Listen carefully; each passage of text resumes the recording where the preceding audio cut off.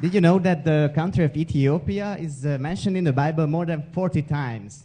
So, not many countries here can tell that of himself. And uh, our speaker, as you might know, is also from Ethiopia. His name, Tariku, means history maker. Not bad. Also, at the campus, he studied uh, business and accounting, but he was just referred to as uh, his uh, major is Jesus and his minor is accounting. So I would like to ask him to come on stage now with your warm welcome. Tariku Fufa.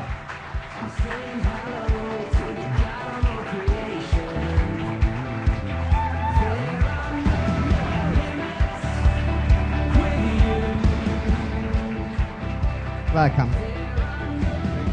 We agreed with Margarita to ask a question from no one, from every one of the speakers, the same question actually. And that would be if you were to meet with God and ask him something, take a, pose him a question, what would you ask of him?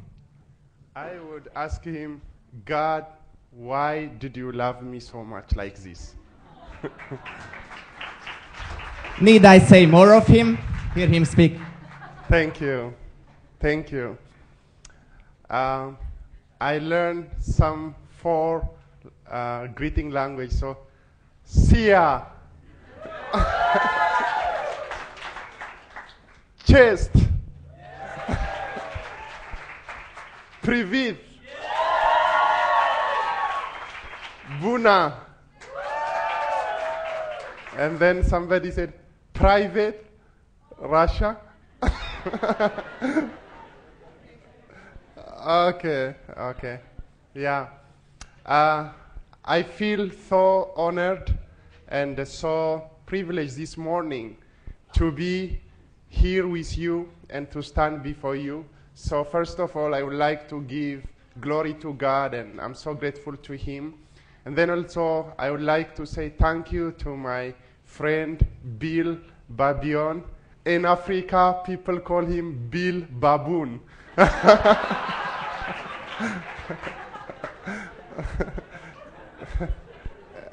and uh, so, whichever way you call him, he's a, he's a great friend, and I really love his heart for the Lord, and I appreciate his leadership, and he leads from his heart. And so, Bill, thank you for having me here. Thank you, uh, Eastern Europe SLM leadership team, for having me here. Uh, this morning, I'm given a topic Who are you going to be? A call to become a disciple. And before I go there, let me show you this is a picture of my beautiful wife. Uh, her name is Buze, and Buze means plenty. So she is my plenty. and um, we are married almost for the last eight years. We don't have children of our own, but for the last eight years we are still on honeymoon. So that's a long honeymoon. It's so sweet. and uh, uh, last year in October, Buze's sister went to be with the Lord, and uh, so she left these two little kids behind, and uh, my wife and I, we are in the process of adopting them. And um, so pray for us. Their father, he's a responsible man. He doesn't live with them. He doesn't love them, but still try to block the adoption. But we love them. Deborah and Wako, she's two and he's six. We love them and we, say, we put them in school now. So this is uh, my family. So I come from Africa. And uh, some of you, you may not know where Africa is found. but uh, Africa is a little bit li- like when I crossed African airspace, we entered into Albanian airspace. So I thought, okay, we are not very far from Eastern Europe. and uh, this is the region where I lead uh, 24 countries. And there are three little tiny islands here where we don't have anything going on currently. This morning I was talking to Bill. Would you please send your student to this one, the expedition team?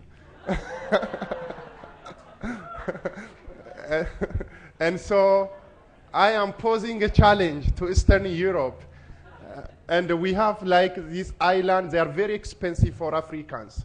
very expensive to go. It's very cheap to fly from Germany to, to here than to fly from South Africa here uh, for Africans. So for you, you are really most welcome here. And so, so I lead. I okay. I am from Ethiopia here, but I live here with my wife, Zimbabwe. This is where the area office is located. I give leadership to all these 24 countries in terms of SLM. So this is my beloved country, Ethiopia, and. Uh, so population is 84 million. That's in 2007, but now we are 93 million.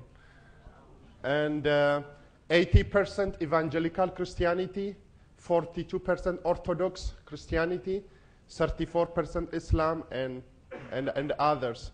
So I was born somewhere around here on the corner. So I come from a rural area. I'm not a city boy. and so having saying this, uh, just let me read for you this morning my favorite scripture, Acts chapter 20, verse 24. That's my favorite part of scripture. So let me read it. But I do not count my life of any value, nor as precious to myself, if only I may finish my course and the ministry that I received from the Lord Jesus to testify to the gospel of the grace of God. Paul said, Paul said when he was with, uh, in Ephesus and then uh, while he was leaving, somebody came to him and said, Paul, please don't go to Jerusalem. Don't go to Jerusalem because if you go to Jerusalem, you will be persecuted and you will be imprisoned. Nothing good is there for you, don't go. And then Paul said, he said to the elders and the people who came to him, he said, for the sake of finishing the race, and then also for the sake of testifying to the gospel of grace, he said, I count my life nothing. I count my life not dear for me. He said, I am ready to go. And so for me, when I think of discipleship, I think a true follower of Jesus Christ, a true disciple, should be able to say, like Paul said. Paul said, My life is nothing to me. Actually, he said, when he was told he will be imprisoned, if you read further, he said, not only imprisonment, he said, I am even ready to die for the sake of the gospel of Jesus in Jerusalem. And Paul was like, for him, for the sake of the gospel of Jesus, Paul didn't care if they starve him, if they kill him, or if they torture him, he was ready. Last uh, two days ago, my friend David Rice and Susan Rice, I was with them here for one day, and so I was touring Budapest, and, and so they, they, uh, they took me to, uh, um, David, what do you call that place? Terror yes, Terror Museum. And we went there, and it was like horrible place. Just what happened. I was crying inside because Ethiopia was also communist for 17 countries. When Ethiopia went through communist, they killed almost half a million people eh, during that time in Ethiopia as well. So where they imprison people, where they torture people, when I saw that, this verse came to me. Paul was ready even to go to such place for the sake of the gospel of Jesus. He said, nothing can stop me. Amen. So for me, this is where the concept of discipleship comes from. When Jesus said, Go and make disciples of all nations, the commitment should be like the one Paul had, where you reach the level where you say, I'm, if I'm getting starved for the sake of following Jesus, I'm ready. If I'm going to be chased away from my university for the sake of Jesus, I'm ready.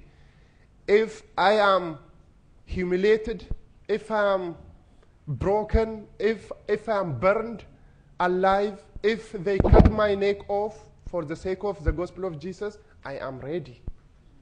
When you reach that stage, when you have that kind of commitment, for me, that is a true indicator in your life that you are truly following Jesus Christ. But if you are saying, okay, as long as freedom of religion is there, as long as everything is all right, as long as I have my support, as long as everything is good, I follow Jesus. But when the bad day comes, I can go and always find my way. That's a questionable lifestyle. So, this is my favorite part of Scripture. Let me tell you something about myself. 11, uh, 16 years ago, 16 years ago, when I was a second year university student, when I was a second year university student, I came out and one night I was just meditating on my life, how the Lord cared for me, how Jesus loved me. That night I was just reflecting how the Lord raised me from the street. I was thrown on the street when I was one year old. My mom threw me on the street and she left. I was there. I was asthmatic. I was asthmatic patient. I couldn't breathe. I was born with asthma. I was hated, rejected by people. And then when I gave my life to Jesus, at the age of 13, again, my fam, my parent, they again sent me on the street for six years. I lived on the street. I suffered. So there is no way for me to go to university. There is no way to me to, for, for me to be alive. So that night I was just meditating how good God is, how wonderful Jesus is. And then I said, I asked one question. I said, Lord, in response to all your goodness and kindness to me, what shall I give to you? That night I asked him when I was second year university student. And then the Lord said, Tariku, give your life to me. He said, you surrender all. You dedicate your life or you make unreserved commitment. The Lord said to me that night. And then I said, I knelt down and I said, I, I raised my hand up like this. And as I was kneeling down like this, I said, Lord, when I die, I am even ready to die martyr days. I say, Lord, I don't want to die on hospital bed. Lord, I don't want to die on my house bed. I want to commit everything to you. When I graduate, I will follow your purpose. I will serve you. I say, Lord, send me to anywhere in the world where other missionaries they don't want to go. Send me to Iraq. Send me to Iran. I say, Lord, send me to anywhere. Let them cut my neck. I am ready to die. I made a reserved commitment that night. I tell you, since that day, since that night, my life have never remained the same. Praise the Lord. Amen. Just before even I talk more about discipleship, I want to challenge you today. My beloved Eastern European students and staff and missionaries from all over the world who are here. If persecution comes, if communist, communism come again, or if terrorists come to you or some, somebody come with their sword, with their gun, and ask you this question, you die right now, or you denounce your faith. If you are given this option today, will you be able to say like Paul, my life is not dear to me. My life is nothing to me. May the Lord help us. Amen. Let's pray. Let's pray. Lord, your love is so great. You changed our lives. You've written our name in the book of life. And you are preparing a better place for us in heaven. Great glories waiting for us in heaven. But while we are here on earth, you asked us first to follow you, first to be with you, and then go out and represent your kingdom. And you said, while you are in the world, There will be a lot of tribulations. There will be a lot of inconvenience. But Lord, you promise that we will overcome this. I pray today in the name of Jesus. I speak about, as I speak about discipleship, becoming a true follower of Jesus. I pray for myself and for all the students here, for all the conference here, that you would create a reserved commitment in our lives, that we would say, and there is nothing I can hold back. I am ready for the cause of Jesus. I am ready to follow him anytime, anywhere, wherever the Lord wants me to be. Lord, I pray that you will help us. You will right now strengthen our inner personality. In Jesus' name, Amen. Okay. what is discipleship? I don't want to share much, but just this is the best definition of discipleship I had. Discipleship is to help someone grow into Christ likeness. The goal of discipleship is to grow into Christ likeness. At the end of the day, we need to be like Christ. A disciple is a learner who follows his leader with the intent to pass on what he has learned as he puts into practice in his own life. So, simply discipleship is a long process, it's a lifetime process. Every day we get conformed into the likeness of his son. Disi- uh, discipleship involves commitment. We need to make commitment. There are two types of commitment. One is lukewarm commitment, where it's half half, as long as everything is fine. When communism came to Ethiopia about 40 years ago, a lot of people went back. They denied Jesus because their commitment was they had lukewarm commitment. But another type of commitment is a reserved commitment, where you say 100%, no turning back for me. So, so discipleship involves commitment. It's, it's, it's, it's also a relationship. Put first thing first. We are talking a lot about going, about making disciples, but the topic I have this morning is put the first thing first. We are first called to be disciples before we, are, we, make, we make disciples. We are first to be disciples. Are you a true follower of Jesus? Will you be able to stand up for Jesus?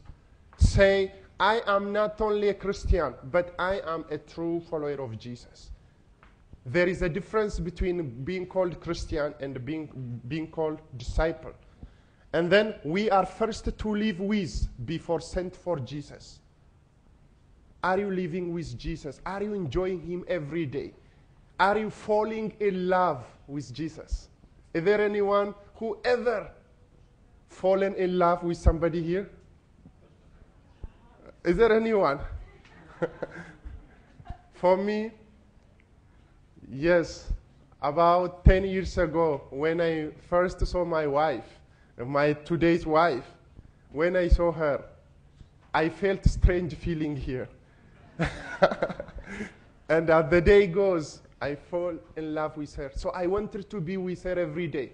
I wanted to call her. I wanted to hear from her. Because why?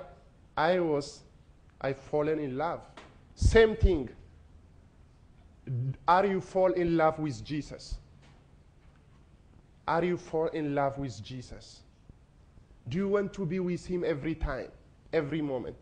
We are first followers before we are leaders. Are we truly following Jesus? Who we are is more important to God than what we do for him. Who are you? It, it is possible to become pastor. It's possible to preach on TV. It's possible to become missionaries. Yet you are not truly following him. John Wesley, he went from England to America. John, John, John Wesley, for two years while he was evangelizing the Red Indians in the U.S. For two years, he was not Christian. He was not even a disciple. And then it is the Moravians who went from this continent to America who led him to Christ and discipled him. It's possible. So simply being is greater than doing in God's business. Who you are is more important to God than what you do for Him. Who is disciple? Who is disciple? Disciple is follower. Simply, disciple is follower. Disciple is a student. Student like you. Disciple is dedicated. Disciple is imitator. He tried to imitate. He tried to imitate his leader. Just let me give you this thing what's happening in Africa. Africa is like Africa is kind of in terms of weather it's, it's very hot most of the time and so because of that you have to wear uh, a light clothes or whatever even when you preach but a lot of pastors in the church even when the temperature is about 40 degrees celsius or over 100 fahrenheit they wear their, you know, big coat and ties and all those things, and they carry big towels and whatever. You know whom they are imitating? They are imitating some preachers in the U.S. in the cold place. and they are doing that, and I approach some pastors and ask them, and they don't know what they do because they, they are just following. So, disciple is when we say imitator, we imitate Christ. Amen. We, and then, like young people in Africa, if you see them, is there anyone who knows Justin Bieber? and most of them, maybe 99% of them, they have never seen him face to face. But everybody in school, on campus, they talk about Justin Bieber. They dress like him, you know, they walk like him. and they don't have hairstyle like him, but say, buy this artificial hair from China. Why? They want to imitate him. You know, they are being discipled. So, disciple is imitator. Are we imitating Christ? Whom are we imitating today? Today, unfortunately, most of us, we imitate, we try to be like media entertainers, isn't it? They are the one, and most of us, I, I know in Africa it's like that. And then disciple is loving, disciple is bearing fruit. If you are disciple, true follower of Jesus, you bear some sort of fruit for Christ. In the area of worship, it could be in the area of prayer, evangelism, whatever according to your gift. And then disciple passes on what he has learned. So who is disciple? Just let me uh, give you one example. Uh, let me give you one testimony, Daniel's testimony. I was privileged in Ethiopia, as, as, as you've seen in the video. In eight years, I, ha- I was privileged to see people discipled and multiplied from six to 7,300 over the period of eight years. Just let me give you just one example. Uh, I started in 2000 and, and, and in 2002. I started ministry with six students, three of them sitting at the back here, and then three of them sitting here with six students. I just discipled them. How did I disciple? Discipleship is more caught than taught.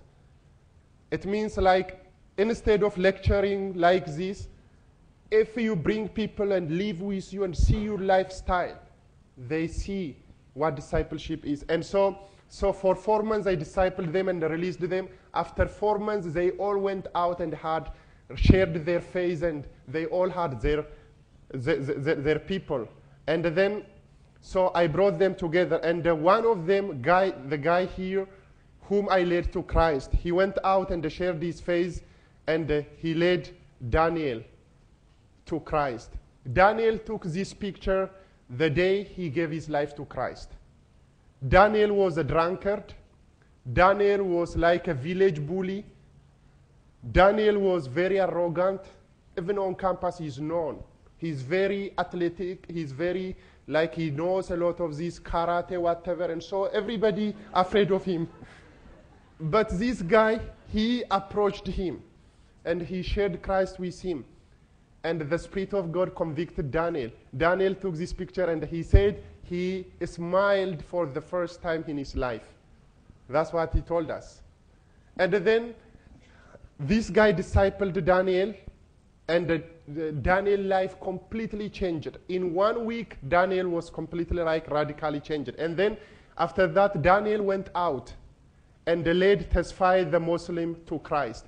Tesfaye was Muslim, but he used to be Daniel's friend. And so Daniel went to Tesfaye and he said, Tesfaye, you got to follow Jesus. And then Tesfaye, who is a Muslim, he said, No, I don't believe in Jesus. And then Daniel said, Who are you not to believe in Jesus?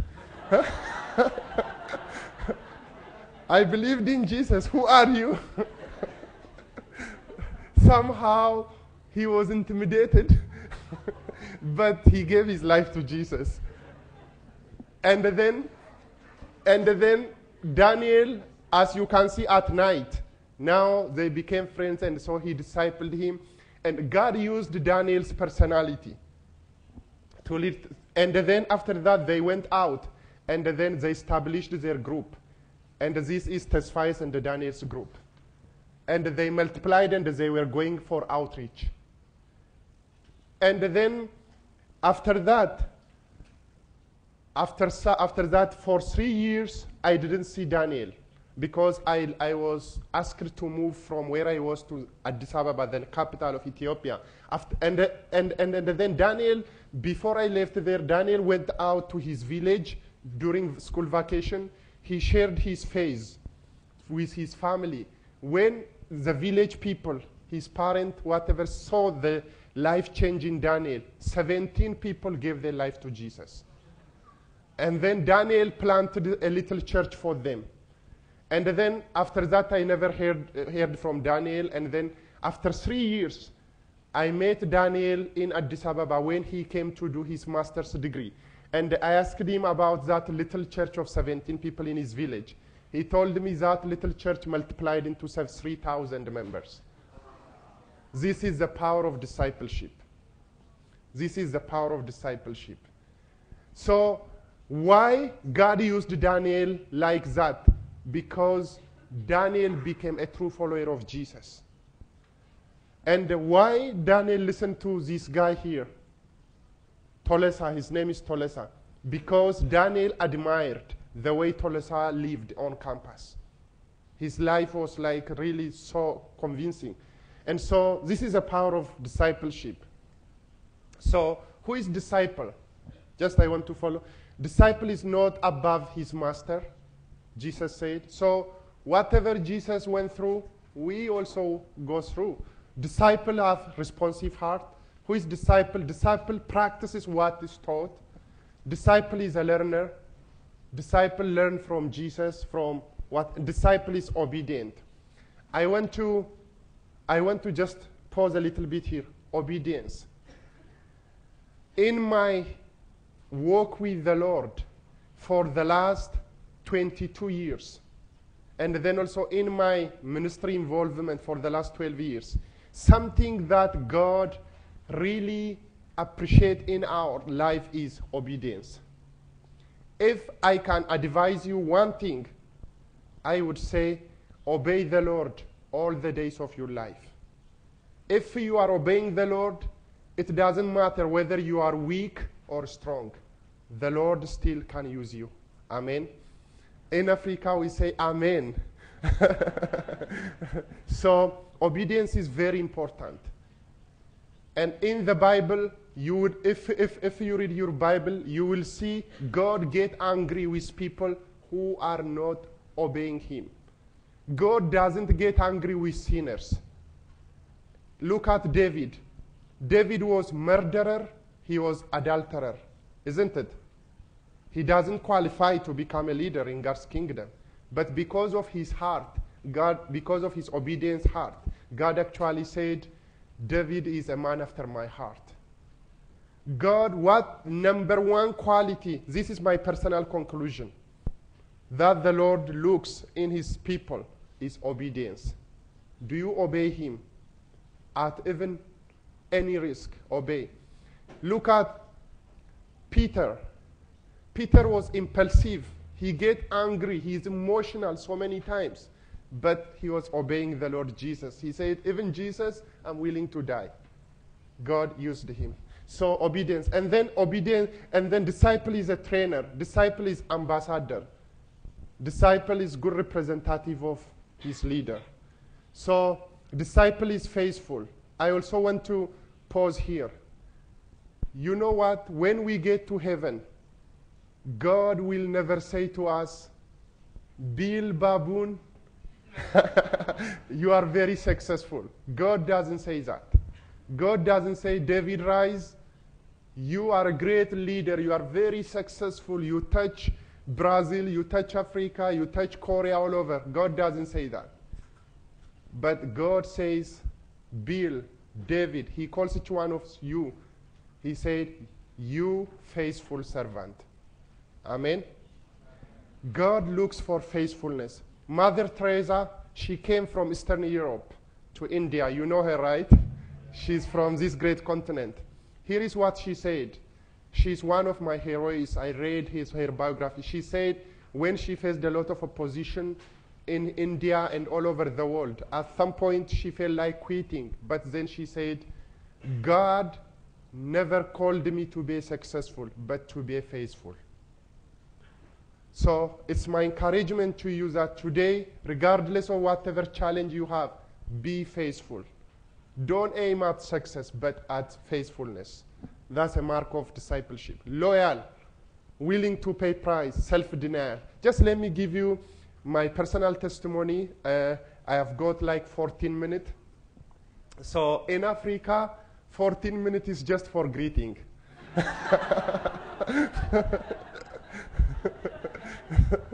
so, but I'm in Europe, so I have to adjust. And uh, I especially love this thing, willing to pay price and self-denial. I come from a broken family. My mom, okay, my dad had three wives, and we, I, we are 12. I have 12 half brothers and sisters, and they all from the two mothers. I was the only one in the family. And so because of that, I was never beloved. My mom was divorced at, when I was one year old. And then in the family, I was never beloved. In the community, everybody looked down on me. And then when I turned 13, I gave my life to Jesus at the age of 13. And that night, I was lying in bed because of the asthma. I couldn't breathe at that time. It was the asthma was eating me up, so I was really suffering. But because Jesus came into my life, I was rejoicing. And then my dad, he heard that I gave my life to Jesus, so he walked into the room where I was sleeping. He came with my stepmother, and then he asked me to get up, and then I couldn't. Then he grabbed my ear. My stepmom also grabbed my ear this side, and then they dragged me to living room. And when I went to the, and, and then they asked me, my half brothers and sisters, they were all waiting there, and they asked me to denounce my religion. And then I said, no. My dad said, Tariku, I give you choice. Choose between your Jesus and your family. I said, I chose Jesus. He said, do you know what does it mean to choose Jesus? He said, you are going to die. I'm going to throw you on the street. You have no one to care for you. This asthma, you are, you are, you are sick person, so you are going to die of the asthma. And then I said, Dad, even if it means days, I still choose Jesus. When I said that, my dad got angry. He beat me. And then my stepmom, she beat me. My half brothers and the sisters, they all cheered him on, saying, Kill Tariku, kill him, kill him. And then my dad, he bite me and he cut my face and shed my blood. And he used some scissors, some metal, and cut my face. There are some scars. And then that night, he threw me on the street for six years from that day, most of the years I lived on the street, on the street of Ethiopia. And my dad was a businessman. I could eat But when I was thrown on the street, I became starved. I became so hungry because there is nothing to eat on the street. I didn't have any business. I didn't have any family who can help me. And there was three days in a day, in a row, or sometimes five days without eating. I thought I was going to die. But every day, every single day on the street, I would pray. Every single day, I think of Jesus. On the street, every single day, I say, Lord Jesus, one day I will come to heaven. I will live with you in heaven. So that really encouraged me. And then, as I was there on the street, I had three friends, and all of them died one by one. One from cholera, one from um, malaria, all. And so one day I thought I was going to die. So when I was going to die, when I thought that, I came out, stood in the overhead sun, and then pointed my finger to heaven like this. I cried. I said, Lord, I'm going to die today. I smelled death that night. So I said, Lord, I don't have anyone in my life. I'm going to die. Please, Lord, help me. So as I was praying, I heard silent and quiet voice of the Lord coming to me and saying, Tariku, my son, don't cry. You are not without help.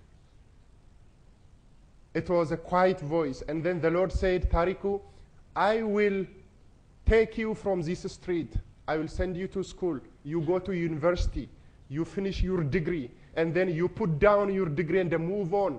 All over the world, you will go and preach my gospel in the language that you have never spoken. The Lord said that. I was just, I couldn't believe. And then uh, the Lord said, the Lord also said, I'm going to heal you from the asthma. So just right after that, in three months' time, when I turned 16 year old, the Lord healed me from the asthma miraculously. I was healed in the church, uh, and and so the Lord touched my heart, my, my heart, and my lung, and so I was healed. And then after that, I went to school. Just to cut the long story short, um, because of time is running. to cut the long story short, after six years of suffering like that, my dad one day came. After six years, he came to the town where I was. He was at school, at high school where I was going, and uh, he saw me there. And then he said, "Tariku, is this a real Tariku or is this a ghost?" And then I said, "Dad, this is your son Tariku." He said, "How about that asthma? How did you manage to live all these six years?" And then I told him, "Dad, you remember that night? Look at the scar on my face. You cut my face." You throw me on the street. You rejected me. My mom also rejected me when I was one year old. All of you rejected me, but Jesus, He accepted me. Jesus became my mom. Jesus became my dad. Jesus became my sister, my brother. Jesus became everything I needed in life. I told him when I, when I told that, my dad cried.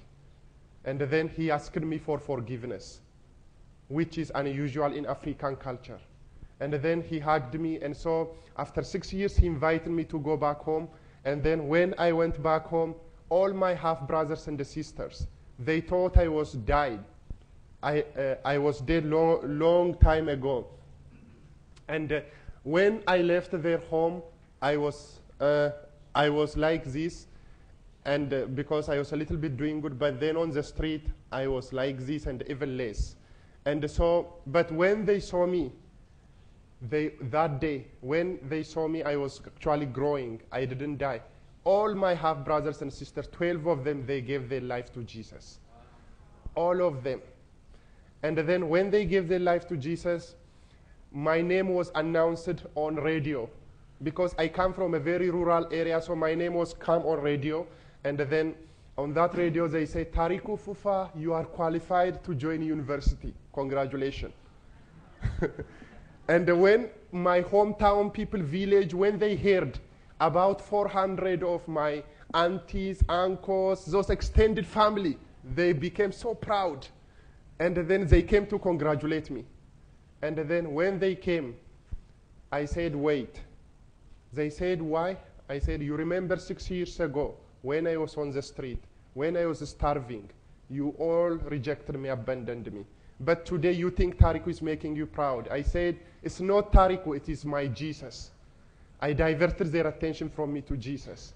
That day I preached them, all of them gave their life to Christ. And then our church, from one church in six months, multiplied. Yeah. Glory to Jesus. Amen. Praise God. And then our church in Africa, a big church has like 50 members or 40 members. And it's not beautiful like this. So that little church multiplied into 23 little, little churches because of my story. In my hometown, it's called Begi. You can Google and see Begi. People said Jesus was named after my name, so people said Jesus of Tariku. Everybody, when they pray, they pray to Jesus of Tariku. They say, You are so good. You are so kind, Jesus. And then after that, I joined the university. As the Lord said on the street, I studied accounting for four years. But when I was in university, 80% of my time in university would go to evangelism, discipleship, leadership. The first day as a freshman, the first day I set my foot on university, I said, I am student leader. Without even meeting Campus Crusade people, I said, I'm here. And then I looked for leaders. They didn't look for me, I looked for them. And then I said, I'm not a freshman. And then they say, You are a freshman. I said, No, no, no, no. I come by purpose. And then the first day I was appointed, they said, Okay, we will make you a prayer leader. So the first day I became a prayer leader. I was actually welcoming freshman student after arriving. So on university, 80% of my time would go to evangelism simply because of the, in my academics I was among the top in the accounting. Because of that, I was also imprisoned, went to jail several times. Muslims took me to jail several times. Because of that, I was popular in the university, so they gave me a nickname. They said for Tariku, Jesus major, business minor. and uh, so when I was about to graduate and the finish, I was approached by Ethiopian Airlines, which is a Star Alliance member. They are partner with Lufthansa, like a big airline in Africa. They said, Tariku, come and work for us. Before even I graduated, they said, we will pay you $500 a month. In Ethiopia, government would pay only $50 a month for accountants. But they say 500. We will send you to Europe. We'll send you to America. Like as African student, you don't even think twice. You say yes. But then I prayed. The Lord said, Tariku, I also need you. Remember on the street. Campus Crusade people came and they said, work with us. I said, how much do you pay?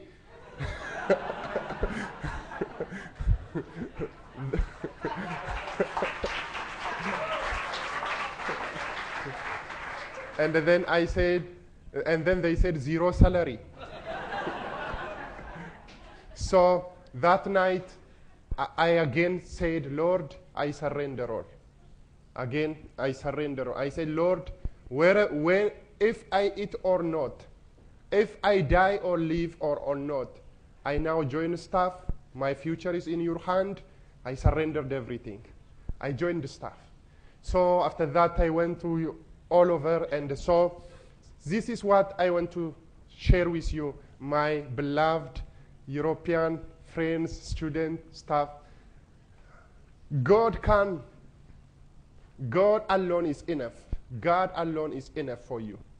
If you have Jesus, if you fall in love with Him, you want to talk to Him every time you meet or in the bus, on iPhone, talk to Jesus. Through Facebook, talk to Him.